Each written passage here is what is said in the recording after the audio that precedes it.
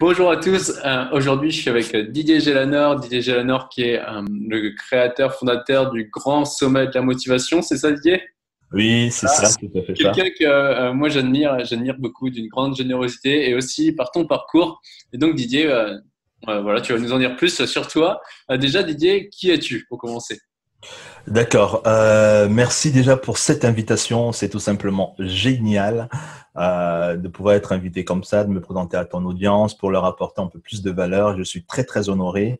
Et vous que nous écoutez, j'espère que vous êtes en excellente forme. Euh, la question est de savoir qui je suis. Bien, je suis un être humain.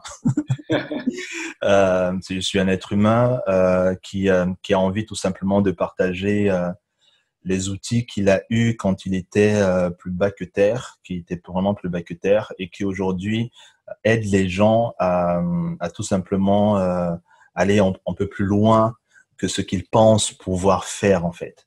Donc, je travaille beaucoup sur le leadership. Donc, ça englobe tout ce qui est confiance en soi, tout ce qui est dépassement de soi, motivation, atteinte d'objectifs. Donc, c'est vraiment ce qui me passionne et je fais ça à travers des conférences, à travers des événements comme le Grand Sommet de la Motivation et à travers euh, des livres euh, que j'écris. Voilà. Super top. Et Didier, alors du coup, on va, on, va reparler de ton parcours juste après parce que tu as quand même un, extraordinaire parcours. Euh, et avant tout ça, Didier, quel est ton rêve? Ah, grosse, grosse question, grosse, grosse question. Moi, j'ai une vision. J'ai une vision, d'accord? Quand on parle de leadership, moi, j'ai une vision c'est que j'aimerais créer, participer à la création d'un monde où il y a de plus en plus de personnes qui sont fières de réaliser leurs leur rêves, en fait. Plus le nombre sera grand, que ce soit par la chaîne Facebook, que ce soit par euh, le nombre de newsletters, bref, euh, plus je vais avoir l'opportunité de rencontrer des gens qui créent euh, un monde meilleur grâce à leurs projets, plus moi je serai heureux. Mon rêve, c'est ça, en fait de toucher un maximum de personnes dans cette, euh, dans cette réalisation. D'accord.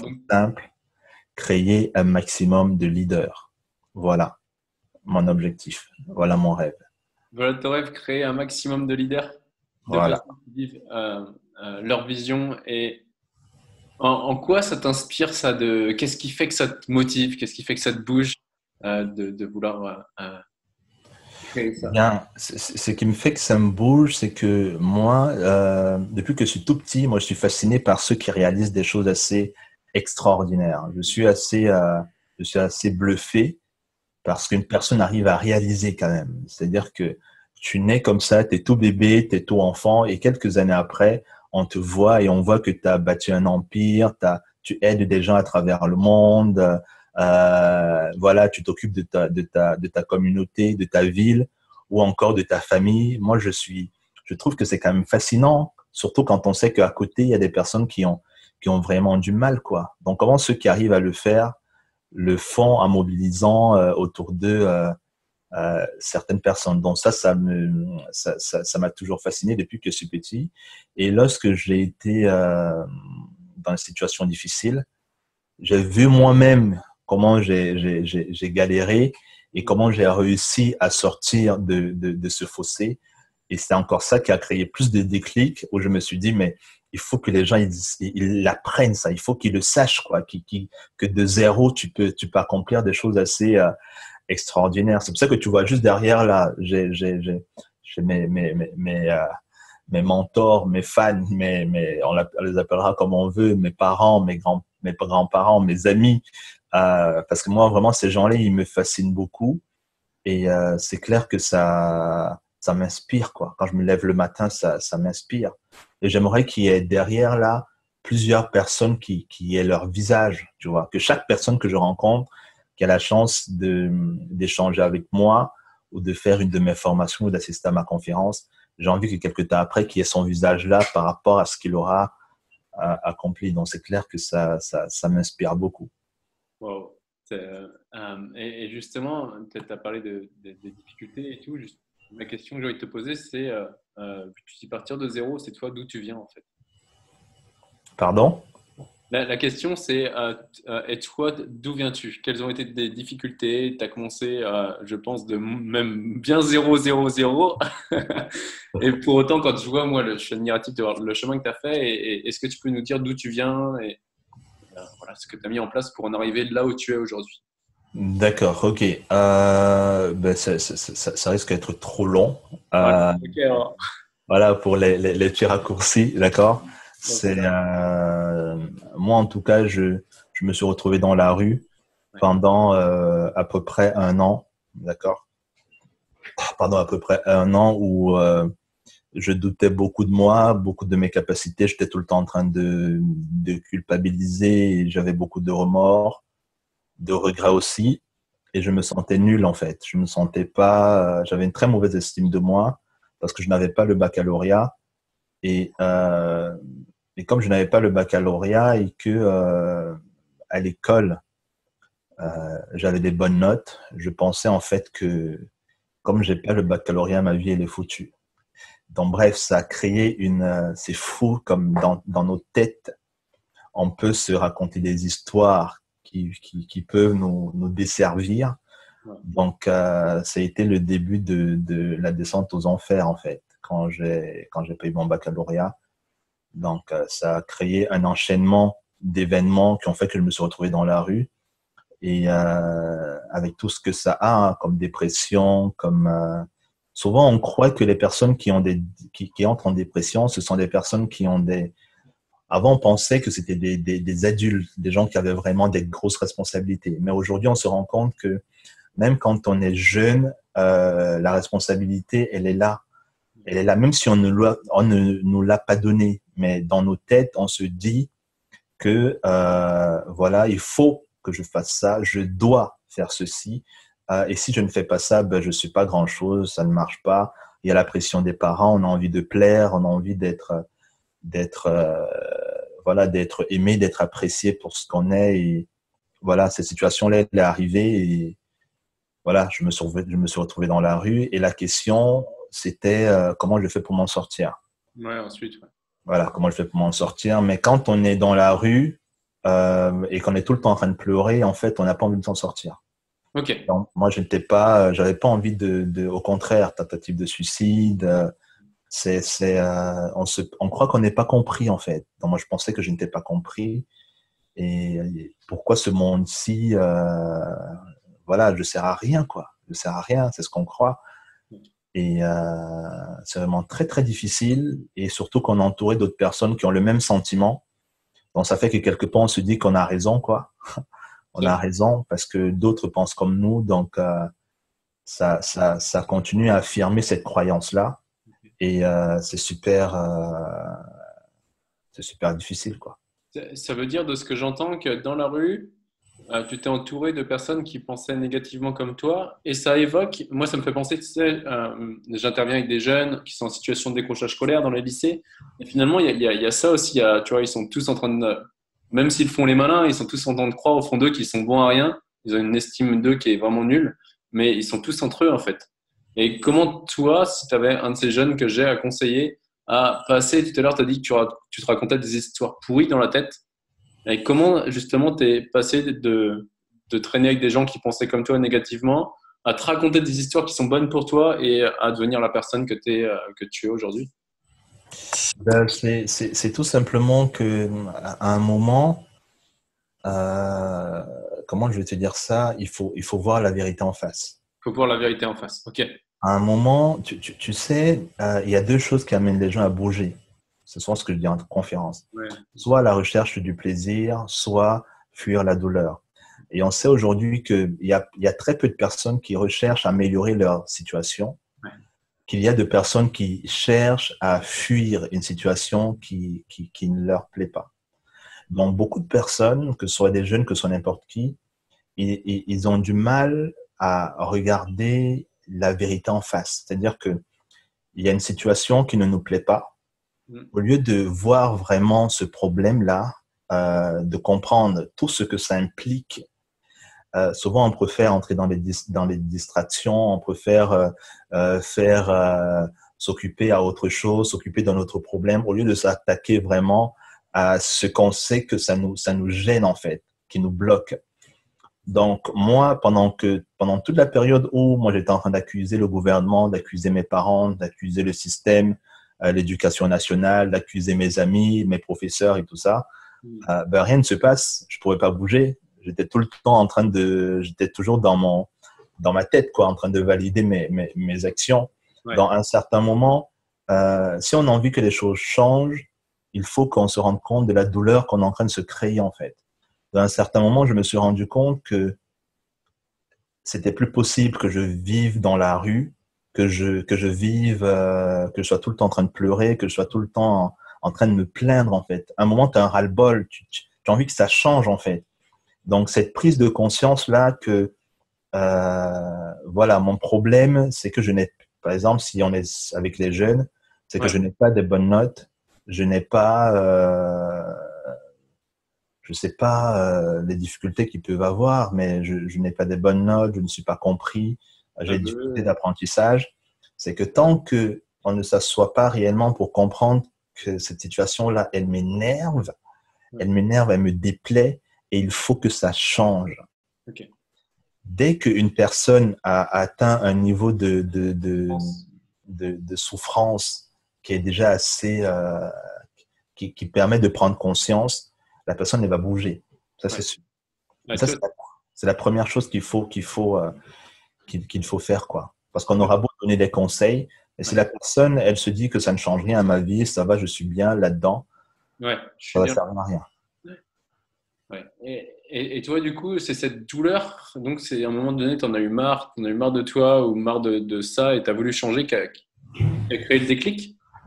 Ah oui, oui, et c'est un événement particulier, c'est souvent un événement particulier qui crée le truc, c'est que à un moment j'avais super faim, j'avais très faim, mais j'avais vraiment faim là, j'avais vraiment faim et je ne trouvais pas, euh, j'avais honte de demander, d'accord, dans la rue, j'étais très gêné, mais j'avais, et à côté de ça, j'avais vraiment faim.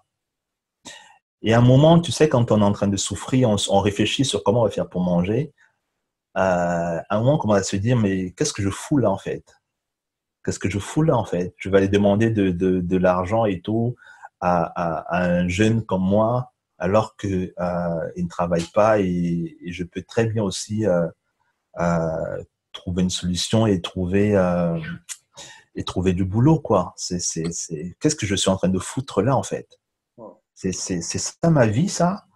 C'est euh, comme ça que j'ai envie de vivre, c'est comme ça que j'ai envie de, de, de, finir ma vie. C'est euh, je suis jeune, j'ai je suis je suis en bonne santé. Qu'est-ce qui est en train de se passer en fait? C'est c'est qu'est-ce qui se passe? C'est quoi? Comment comment j'ai fait pour arriver là en fait? C'est comme si à un moment on, on, est en train de se réveiller. Tu te rends compte? On est en train de se réveiller, on se dit mais il faut que ça change. Mais en même temps on a peur parce qu'on ne sait pas ce qu'il faut faire après pour que ça change Quel est le pas qu'il faut que je fasse? Qu'est-ce que on s'est dit juste que non, c'est moi je vais plus vivre ça quoi. Et comme ça, fait tellement mal, tu te dis mais si demain j'ai encore du mal à manger, si après demain j'ai encore du mal, non, je vais pas vivre comme ça quoi. Je vais pas vivre comme ça, c'est c'est c'est euh, c'est pas possible. Donc là déjà c'est la prise de conscience, c'est la prise de conscience. Et dès qu'il y a cette prise de conscience là, pour bouger c'est pas c'est plus compliqué à, en elle, on sait qu'elle est le premier pas qu'il faut qu'on fasse. Donc juste après, là, je suis allé à la mission locale et, euh, euh, voilà le début de, le début des, solutions ont, commencé quoi. Mais il y a toujours un pas, une action qu'on peut faire pour changer la situation. Et, et toi, la, la, la, la, première action de ce que j'entends, est ce qui est marrant, parce que moi, ça, ça m'évoque euh, les, les euh, les, histoires que j'ai avec les jeunes, toi, le premier pas, ça a été la mission locale. C'est ça? Mmh. Mmh, mmh, dans, les, quartiers, c'est vraiment ça, en fait. Les jeunes, c'est la mission locale qui est, au plus proche d'eux. Et donc, après, comment ça s'est enchaîné? Bien, après la mission locale, euh, il y avait une dame, euh, il y en avait deux d'abord, Christine Vitali et Audrey Alf. Je n'oublierai jamais ces dames-là. Elles m'ont permis d'être en relation avec un centre d'aide en fait, de, qui permet de, de, euh, de réajuster ton, ton, niveau en fait. Dans, en fait, les, les, les, les, mathématiques, les calculs euh, basiques, euh, comment écrire une lettre, comment faire un CV. dans toutes ces choses-là, voilà, il fallait, euh, il fallait commencer à les faire. Et euh, je t'avoue que ça m'ennuie un peu parce que je pensais que j'avais un niveau euh, beaucoup plus élevé que, que ce qu'on nous demandait de faire. Mais encore là, c'est une erreur. C'était une erreur de ma part. Et c'est ça qui m'avait conduit dans la situation là où j'étais. C'est que à un moment, il faut pas être arrogant. Comme j'étais premier de classe, euh, comme j'étais premier de classe et que tout se passait très bien pour moi, c'est ça qui a fait que, comme j'ai raté le baccalauréat, bah, j'ai cru que le monde s'écroulait. D'accord? Et le fait encore de rentrer dans, cette, euh, dans ce centre-là, c'était le CEFRA, de rentrer dans ce centre-là où on fait les mathématiques, je trouvais que mais c'est tellement simple, je ne sais pas ce que je foutais là en fait. Mais il a, il a très vite fallu que je change ma façon de voir les choses parce que euh, j'étais dans la rue et que ma situation est en train de s'améliorer et qu'on a toujours quelque chose à apprendre. Et qu'on a toujours quelque chose à apprendre. On a toujours quelque chose à apprendre. Et c'est là où j'ai vraiment commencé à, à, à, apprendre, à me dire que c'est pas tant les mathématiques et tout ça que j'allais apprendre, mais j'allais apprendre aussi à faire un CV, ce que je n'avais jamais fait avant. J'allais apprendre aussi à, à être avec d'autres personnes qui sont dans des situations difficiles que moi, à comprendre les, les, les, les, les, les, gens, à comprendre le fonctionnement et à me comprendre moi-même en fait. Donc, euh, c'était un apprentissage, mais qui était autre. Donc, euh, première chose, c'est de reconnaître qu'on a vraiment des choses à apprendre et de ne pas être arrogant. Et je vois encore aujourd'hui, il y a beaucoup de jeunes qui pensent qu'ils sont, ils sont tellement en avance. Ils peuvent avoir raison, mais on a toujours des choses à apprendre. Et tant qu'on n'intègre pas ça, tant qu'on n'a pas l'humilité de se rendre compte que euh, on, ne connaît pas tout. Même un enfant peut nous apprendre des choses. Et ben, euh, c'est comme un verre d'eau. S'il pense qu'il est déjà plein, on ne peut rien ajouter. Quoi. Et ce qui a fait que je change aujourd'hui, euh, au point où j'en suis, c'est que j'ai compris cela. Et je suis allé, j'ai commencé à acheter des livres. Et j'en ai beaucoup lu. Et l'un des livres qui m'a vraiment marqué, c'est celui de Kinina Hills. Oui, Et euh, voilà, dont je parle dans toutes mes conférences et tout ça. Dans ces dames-là, euh, j'ai eu la chance de la rencontrer parce que justement, j'ai commencé à, apprendre, à me dire que il y a des choses que je ne connais pas. Il faut que, si j'ai envie de m'élever dans la société, si j'ai envie d'atteindre ce que je veux, il faut que j'apprenne. Et il faut que j'apprenne des, personnes qui sont au top. Donc, euh, dès que je suis entré dans, ce centre-là, ben, c'est l'apprentissage qui a commencé, quoi. Et dans tous les niveaux. Et je me suis rendu compte que, à côté du cursus scolaire, qui peut être génial, qui peut être top, il y a un autre cursus aussi, c'est le cursus des, de la formation continue. Et c'est là où j'ai appris que j'avais des problèmes d'apprentissage. J'avais des problèmes d'apprentissage. Euh, je le savais déjà, sauf que je n'avais pas encore mis le doigt dessus parce que j'avais réussi mentalement à trouver des astuces pour trouver des solutions mais euh, j'avais des problèmes d'apprentissage et que j'étais dyslexique. Jusque-là, j'avais, je, je l'avais caché en fait. Jusqu'à présent, je l'avais caché et euh, j'ai beaucoup appris. Donc l'apprentissage, c'est vraiment, euh, faut, faut, faut pas être arrogant, faut pas être orgueilleux, euh, un orgueil que j'appelle un orgueil stupide. Il faut être, euh, parce que l'orgueil, c'est, c'est vraiment très stupide. Hein. Tu te fermes à l'apprentissage. Ouais il peut t'aider à aller beaucoup plus loin. Sauf que tu estimes déjà que tu maîtrises tout. Et euh, c'est fou parce que ça ne fait que te bloquer dans la situation là où tu es encore, tu vois.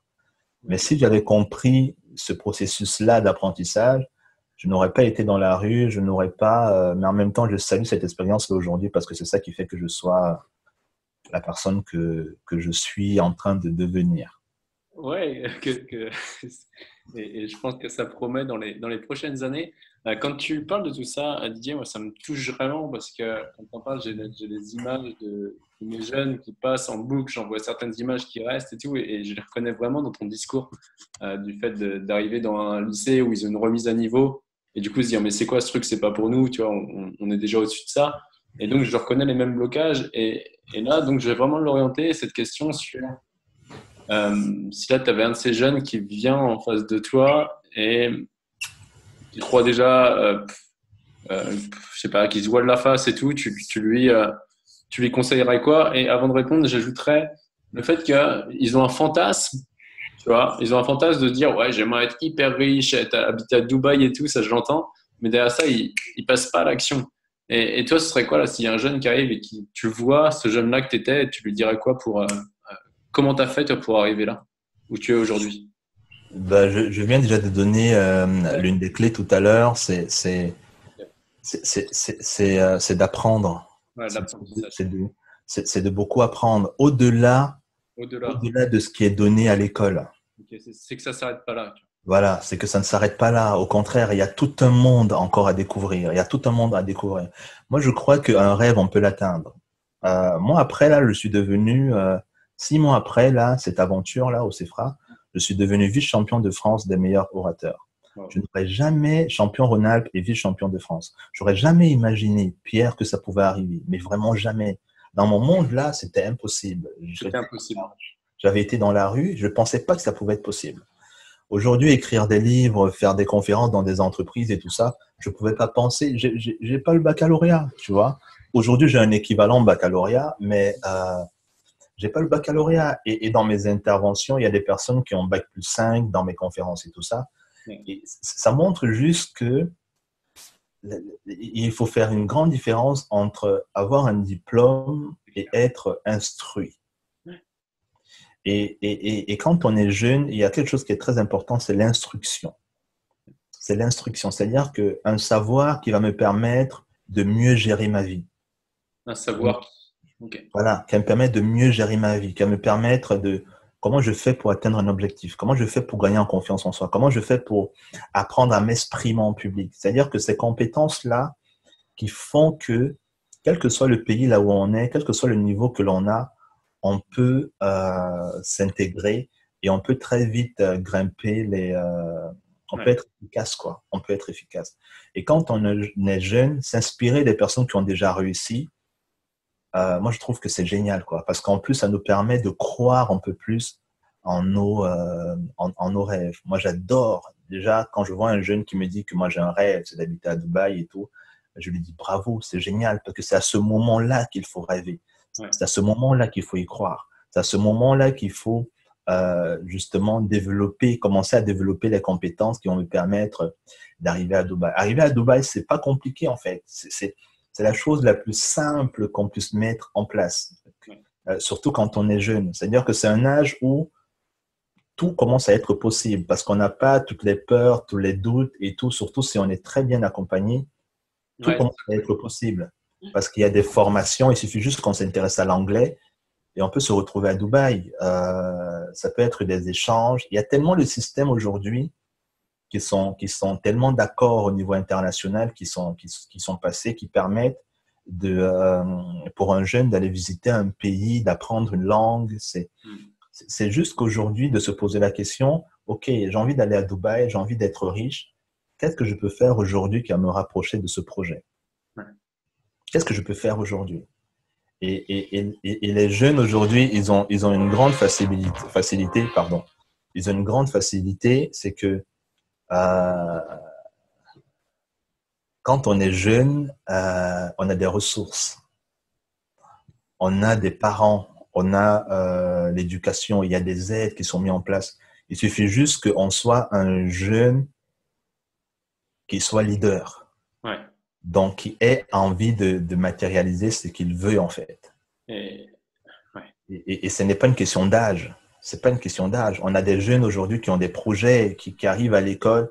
Euh, on dit voilà, c'est quoi votre projet? Ils, reviennent avec euh, euh, toute une dissertation de ce qu'ils veulent faire, comment ils veulent commencer et tout. Il y a des jeunes aux États-Unis qui qui créent leur qui, qui font des formations pour devenir entrepreneurs. Ils ont quel âge? Ils ont 11 ans c'est un truc de dingue. Ils ont 11 ans aux États-Unis. Donc, moi, je crois que les jeunes, il ne faut pas les sous-estimer. Au contraire. Oui, c'est qu'aujourd'hui, euh, on les infantilise beaucoup. Et, et, le fait de les infantiliser, c'est, ça ne les sert pas, en fait.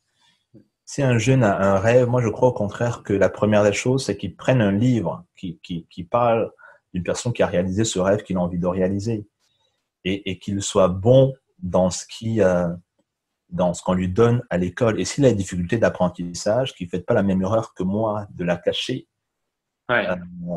c'est qu'il en parle, quoi. il en parle jusqu'à ce qu'il ait une solution satisfaisante. Il lâche pas l'affaire jusqu'à ce qu'il ait une situation, une solution satisfaisante. Mais euh, il faut en parler. Si on a des difficultés, si on est, si on est maltraité, si on est intimidé, si on est... Euh, euh, parce que c'est un impact. C'est un grand impact. Et surtout, il faut croire en son rêve. Quoi. Les gens ne vont pas nous comprendre autour, on s'en fout. On s'en fout. Ton rêve, il t'appelle, il n'appelle pas les autres, il t'appelle toi. Donc, c'est à toi de prendre la responsabilité de. C'est pour ça que moi, je parle beaucoup du leadership. Parce que c'est vraiment. Euh, c'est individuel avant d'être collectif. Quoi. ça m'a donné, des frissons quand tu as dit euh, ton rêve, il t'appelle. Tu vois, c'est vrai que je l'avais pas vu. Enfin, je me l'étais encore jamais posé comme question que c'est à un moment donné comme si c'est le rêve qui nous appelle. Mmh. Et, et, là, justement, c'est quoi maintenant? Euh, parce que je suppose que si tu es arrivé là, c'est pas en claquant des doigts, c'est pas par magie. Mm.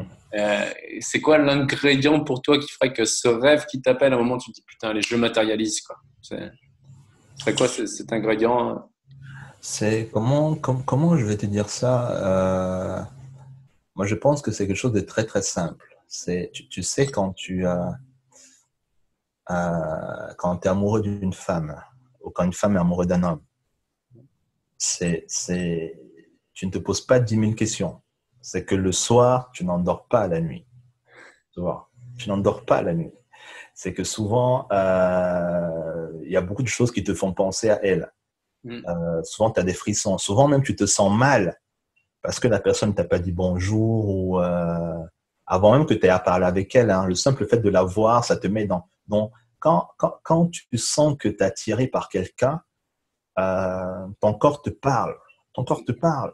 C'est pour toi, quoi. C'est ta vocation. Ton corps est en train de te dire que, voilà, avec cette personne-là, tu ne sais même pas pourquoi tu te sens appelé vers cette personne-là. Tu n'as aucune idée.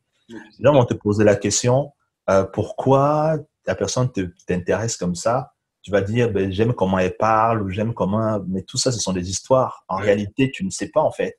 Tu essaies juste de donner une explication intellectuelle à ce que ta tête n'arrive pas vraiment à comprendre. Tu, sais juste que la preuve, c'est que euh, tu vas rencontrer une personne qui n'a pas les mêmes qualités, mais tu vas avoir les mêmes effets.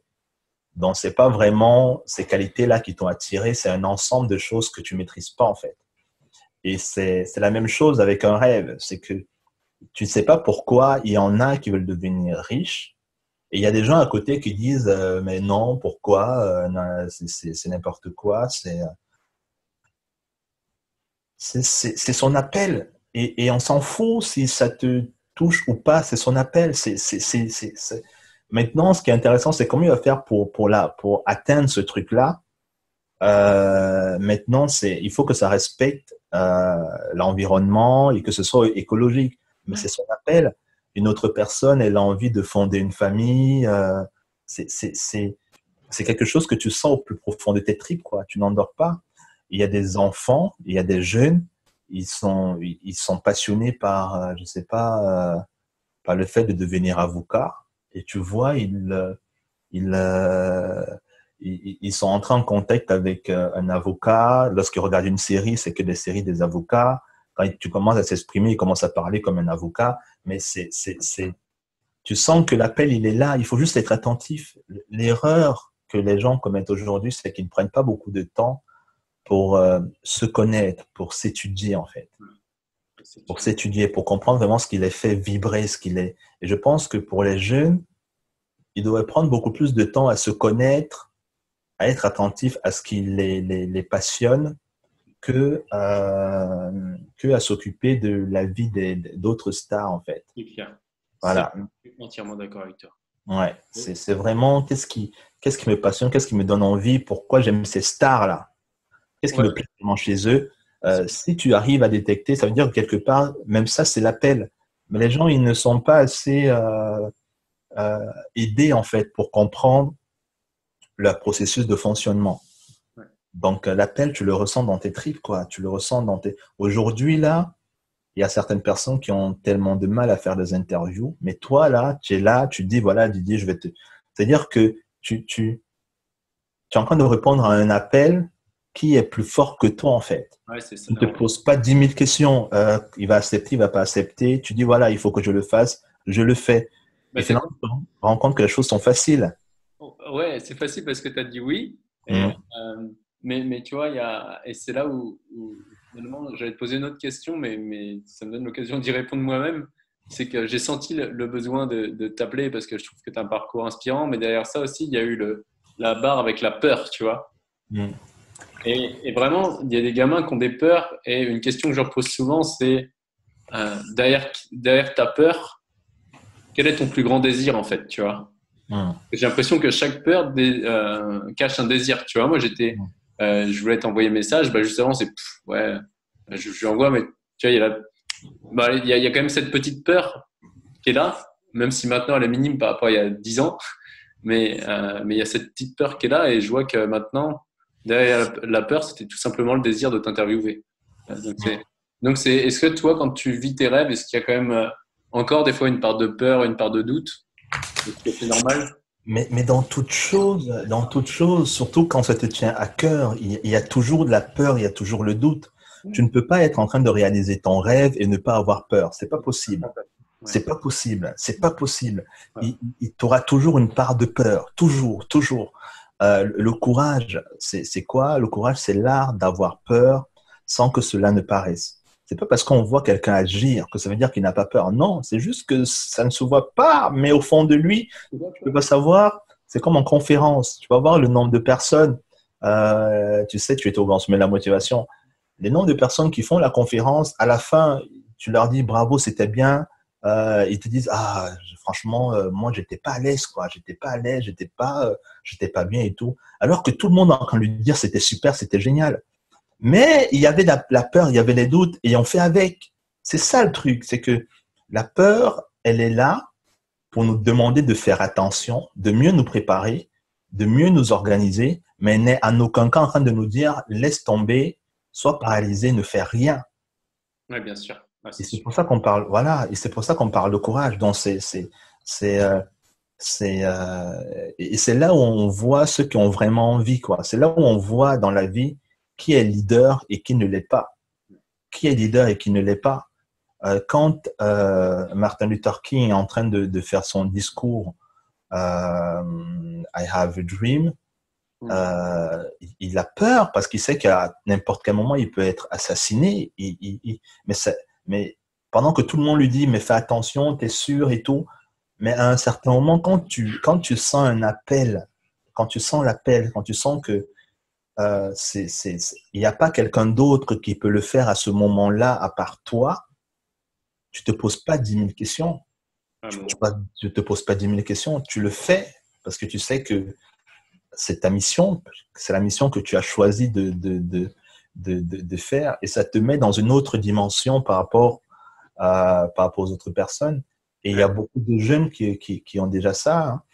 Quand, on voit euh, des jeunes qui organisent des, des, des, des, soirées, qui organisent des associations, qui créent, qui créent euh, une certaine osmose entre, entre eux, euh, je pense que c'est des trucs qu'il faut cultiver de plus en plus. Et il y a la peur, ça fait, c'est, c'est, humain, quoi. C'est humain. Et tu as raison, c'est, c'est humain. Moi, je me rappelle quand j'ai commencé à contacter les millionnaires, parce que pour moi, il y a un côté financier que euh, j'avais beaucoup de blocages là-dedans et je voulais comprendre comment est-ce que ces personnes-là réfléchissaient, comment une personne arrive à produire un projet de, de, de, qui, lui permet d'av- d'engranger des millions? C'est un truc que je, dans ma tête, j'arrivais pas à comprendre. Et bien sûr que j'avais peur. À un moment, je me disais, mais ils ne me connaissent pas. Je suis, je, je galère. J'ai même pas euh, 200 euros sur mon compte. Moi, je vais aller contacter des millionnaires. C'est, c'est... Mais à un certain moment, tu connais des stratégies pour amoindrir tes peurs. Le truc, c'est pas de pas avoir peur, mais de connaître des stratégies qui te permettent, qui te permettent de, de les amoindrir, l'effet sur toi, l'effet sur tes actions, en fait. Mais dès que tu connais ces stratégies-là pour amoindrir les effets de, de, euh, de la peur sur toi, ben, ton leadership, il, est- il devient rayonnant, quoi. Il devient rayonnant parce que rien ne peut plus t'arrêter. Les gens commencent à être étonnés que, ah, mais il, ah, il fait encore ça comme projet, ah, il a encore ça comme projet, encore. ça, devient, ça devient évident pour toi, en fait. Et les gens sont surpris que tout ce que tu touches se transforme en or. N'importe quel projet que tu lances réussit, quoi, parce que euh, là où les autres sont bloqués, toi, tu n'es plus bloqué là-dedans, parce que tu as passé un cap, quoi. passé un cap. Là, le, le, temps passe, Didier. Du coup, si on devait aller conclure en, en, trois conseils, trois choses, qui, trois conclusions, mini-conclusions pour conclure et pour donner euh, aux gens l'envie de, euh, de, prendre leur vie en main et de, de vivre leurs rêves malgré les pertes. Ou juste vivre leurs rêves. D'accord. Moi, la première chose que je pourrais vous dire, les amis, c'est tout simplement de devenir euh, votre objectif dans votre vie, et si je peux me permettre, c'est de devenir de meilleurs leaders.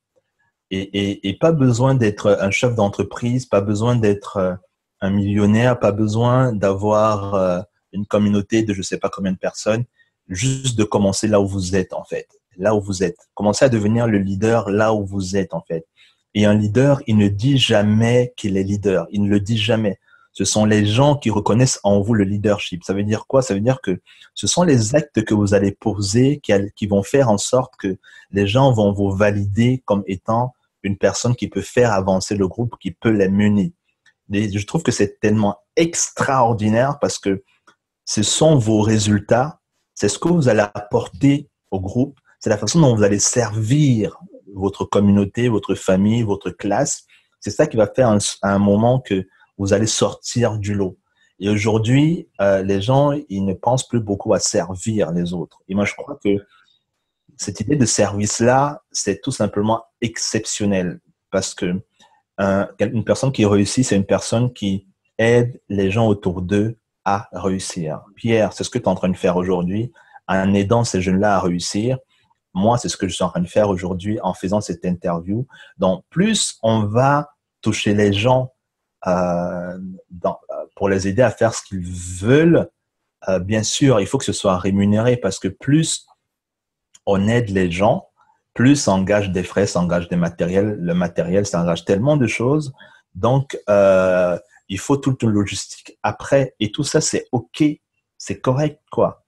Donc, développer vos capacités de leadership, moi, je vous invite fortement à faire ça. On n'en parle pas beaucoup, je ne sais pas pourquoi, mais moi, j'aimerais vraiment amener les gens à, parce qu'un leader, dans n'importe quel projet là où il est, il le fait évoluer. Un très bon leader, il le fait évoluer. Et dans n'importe quelle chose qui ne fonctionne pas, un organisme, qu'est-ce qu'on fait? On ne se pose pas 10 000 questions, c'est le leader qu'on vire, qu'on change. Par contre, que si ça ne marche pas, ça veut dire que sa méthodologie, son, accompagnement, sa vision, elle n'est probablement pas assez top. Pareil, une équipe de football, on change quoi? On change de leader, le coach. Euh, n'importe où, on va changer les gens qui sont à la tête. Donc, vous, par rapport à votre vie, il n'y a personne d'autre qui est à la tête, c'est vous-même, en fait. Donc, si vous, vous n'êtes pas la bonne personne, la vie, elle va vous virer. Vous, quand la vie, elle vous vire, c'est quoi? C'est que vos projets, vous les atteignez pas. Vous allez vivre en dessous de votre réel potentiel. Et croyez-moi, pour avoir été dans cette situation-là, ça ne fait pas plaisir dans mes amis, développez vos capacités de leader. Trouvez, euh, que ce soit des livres, que ce soit des formations, quel que soit votre âge, aidez les autres en, en, développant leurs capacités, parce que ça va vous aider à développer votre communication, à développer votre sens de l'écoute, à développer la capacité à entrer en relation avec les gens, votre capacité à atteindre les objectifs et sûrement, euh, probablement, ce côté euh, financier qui est très très important dans la société dans laquelle nous sommes aujourd'hui. Ok, bah super. Merci beaucoup Didier euh, pour ton temps, ta générosité encore une fois. Euh, moi, ce que j'ai retenu du coup, c'est développer le leadership, être au service des autres. Et euh, mince, le troisième, il m'a, j'ai eu un trou de mémoire, il m'a échappé, et s'instruire. Mmh, mmh. S'instruire, c'est ça? Ouais, ça. Mmh. Ok, bah écoute Didier, un grand, grand, grand merci à toi. Où est-ce que les gens peuvent se retrouver? Je mettrai les liens en dessous de la vidéo de toute façon. Où est-ce qu'on peut bah, Là, on peut me trouver. C'est il y a le Grand Sommet de la Motivation, il y a le Tour de France de la confiance en soi, euh, il y a l'école des conférenciers, euh, l'académie des conférenciers professionnels. Euh, il y a mes livres également que j'ai écrits. Il suffit juste de taper Didier Gélanor sur Google et voilà, il y aura pas mal de renseignements. Top, bah, super, mille merci Didier, merci beaucoup. J'espère que cette interview vous a apporté de la valeur. Pensez à le partager, à liker, à commenter et vous abonner à la chaîne pour voilà, d'autres vidéos inspirantes comme celle-ci. Merci beaucoup Didier. Ah, merci, merci à toi et bravo pour le travail que tu fais. Ciao, ciao.